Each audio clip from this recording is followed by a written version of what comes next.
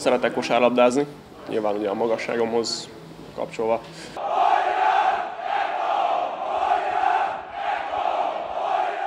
Mai vendégünk a csillszobában, Rui.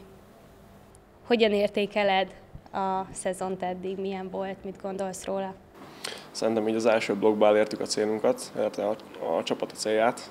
A legtöbb meccset meg tudtuk nyerni. Igazából e, volt egy-két botlás, de nyilván minden csapat életében ez feltüntethető. Fizikailag is jól bírtuk ezt a mezőnyt. Azt várjuk a következő fél évtől, hogy nyilván még jobban teljesít majd a csapat. Melyik volt az a meccs, ami neked a legjobban sikerült? Igazából úgy nem tudok kiemelni meccset. Három meccs is volt, amin ugye nem kaptam gólt, ezeket mondhatnám. Ugye kilenc meccsen játszottam a szezonban, nyilván a jövőben majd arra törekszek, hogy minél több ilyen meccs legyen, ahol nem kapok gólt. És aztán meglódul előre a védő László Dávid. Elsőre nem sikerül blokkolni, csak megállítjuk az akciót. Nem jó helyre került tovább a labda, és ott lehet a lövőhelyzet. Ruisznak kell nagyot védeni. Miben fejlődtél a legtöbbet az elmúlt fél évben? Szerintem ez egyértelmű a lábbal való játékomban, ugyanis ebben a játékrendszerben, amit mi játszunk, nagyon fontos a passzoknak a minősége, az ívelések, és, és nyilván abban is szerintem sokat fejlődtem, hogy a beadásokat jól tudjam hárítani. Az edzői stábból kivel beszélgetsz a legtöbbet? Kivel van a legjobb kapcsolatod? Igazából ugye a kapusedzővel, a Sebivel. Rengeteget videózunk, edzéseken is nagyon sokat beszélgetünk, nyilván, hogy hogy lehetnek jobb.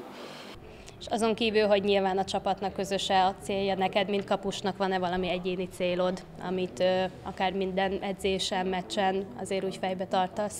Nyilván minden edzésen jobbnak kell lenni, ez a céltudatosságot emelném ki, hogy sokkal jobban céltudatosnak kell lennem, illetve hát ugye minden nap a kis dolgoknak is örülni kell, szóval nem szabad azt várni, hogy egyből hatalmasat fejlődjön az ember, hanem minden nap lépésről lépésre, és így tudja elérni a céljait, szóval szerintem az jó összegzés.